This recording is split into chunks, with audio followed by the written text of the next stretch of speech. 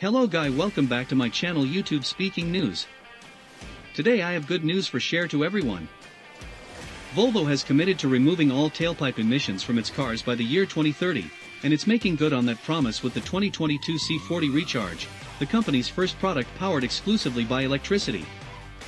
Of course, that claim comes with a caveat, a very similar vehicle already exists in the Volvo lineup. In fact, the C40 is pretty much a more stylish version of the XC40, which also offers a recharge all-electric powertrain alongside gas-powered T4 and T5 versions. The XC40 donates its basic design, front and rear electric motors, and 78.0 kilowatt-hour battery pack to the C40, which differentiates itself with sleek fastback styling and unique interior finishes. In the US, the sleek crossover will get standard 20-inch wheels, a fixed-glass panoramic roof, and an efficiency-increasing heat pump. Some aerodynamic tricks help smooth out the C40S slipstream, contributing to a range increase from the XC40S 225 miles to about 230. Thanks to that added standard equipment and slightly longer legs, the Volvo C40 Recharge could well be considered the company's EV flagship with a price to match.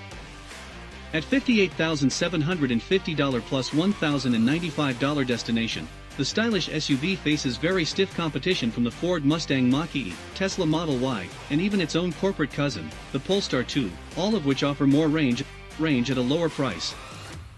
The C40 does its best to compensate with attractive design, sustainable interior materials, and a nice driving experience, making Volvo's first EV-specific offering a nice alternative to those other segment stalwarts. In terms of styling, the C40 moves Volvo forward only incrementally, so your opinion of its appearance will largely depend on how you feel about other Volvo products.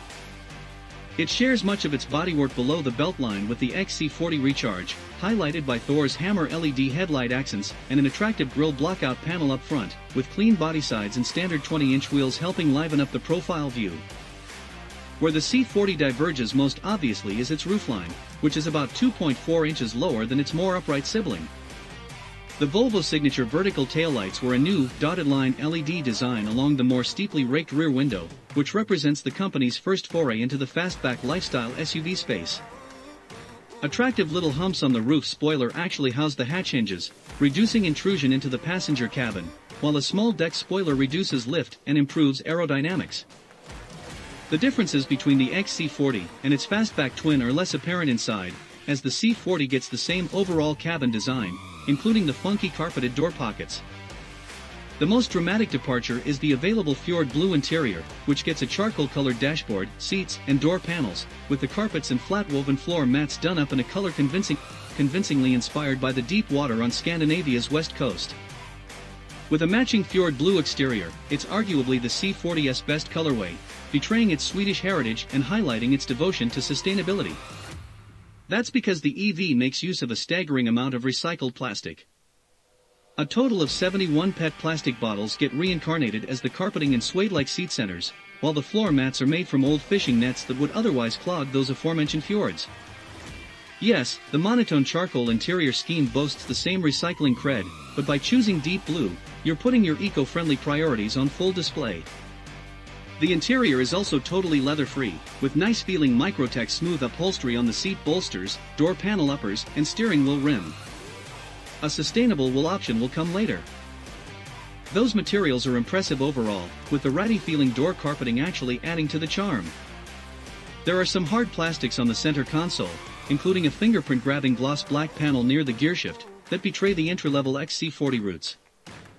Part of the cabin's appeal is a tinted panoramic glass roof which actually improves front headroom relative to the XC40 in spite of the lower roofline. The same isn't true in back however, a 3-inch headroom cut means any rear seat passengers over 6 feet tall have to hunch. A 17.3 cubic foot rear cargo area and a 0.7 cubic foot front keep gear in its proper place. There's one big elephant in the room when discussing the 2022 Volvo C40 Recharge, and that's price.